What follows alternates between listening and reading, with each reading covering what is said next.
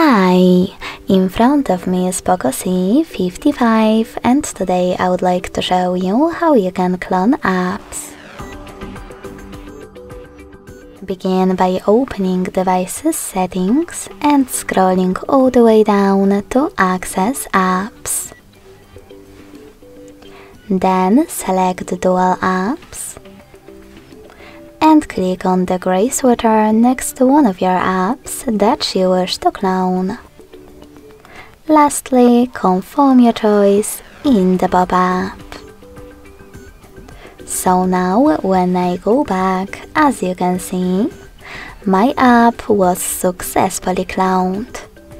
In order to delete this clone, just go back to the same settings and click on No Blue Sweater next to it. Lastly, confirm your choice in the pop-up. Thanks so much for watching. If you enjoyed this video, leave a like, comment and subscribe. Bye!